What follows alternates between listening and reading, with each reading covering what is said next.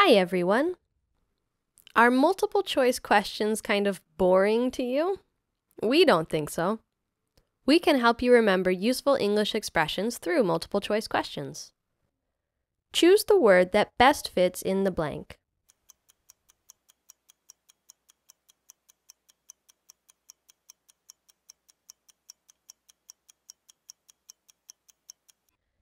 The answer is treating.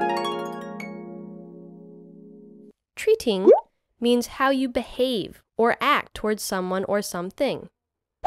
It can also mean to deal with.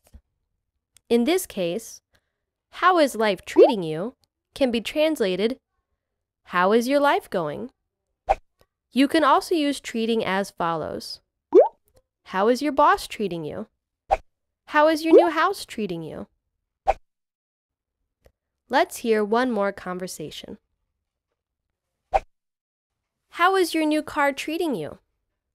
It is great on gas, and I love the stereo system.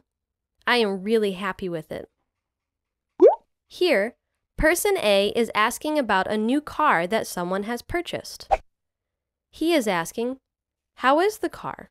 And what person B likes about it.